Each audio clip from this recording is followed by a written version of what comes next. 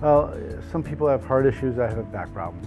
Uh, I literally was laying on the floor of my house for five weeks.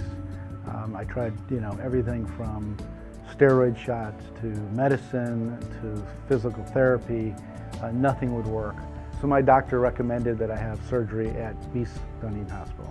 I, I did look at other uh, surgeries and other procedures and um, none of them made me feel as comfortable as going to a hospital and none of them made me feel as comfortable as, as really what, what Mease Dunedin Hospital made me feel.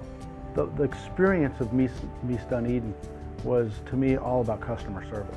Um, the, the staff was, was extraordinary.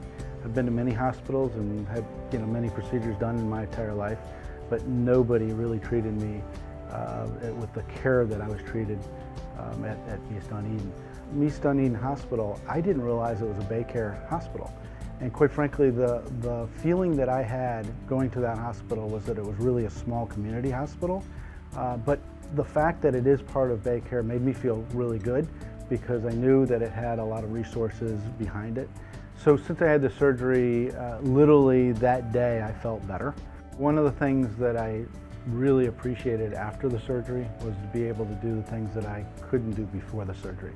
So, you know, everything from my everyday routine of working out to playing golf to boating to just walking my dogs um, really something that I, I, I kind of missed, but I was really glad that I was able to do now, now that I've had the surgery.